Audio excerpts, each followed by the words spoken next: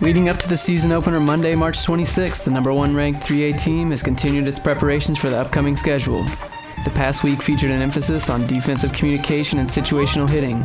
Pitchers continue to build up arm strength and endurance for what promises to be a busy first few weeks of the season, with eight games coming in the first two weeks of the 2012 schedule. Thursday, the team traveled to Northview for a scrimmage. The results were encouraging all around, and especially in terms of pitching, as Athenian hurlers issued just three free passes out of 40 outs. The veteran defense, meanwhile, turned in a number of fine plays and support. The season begins in earnest on Monday when Crawfordsville travels to Greencastle for a 5 o'clock start.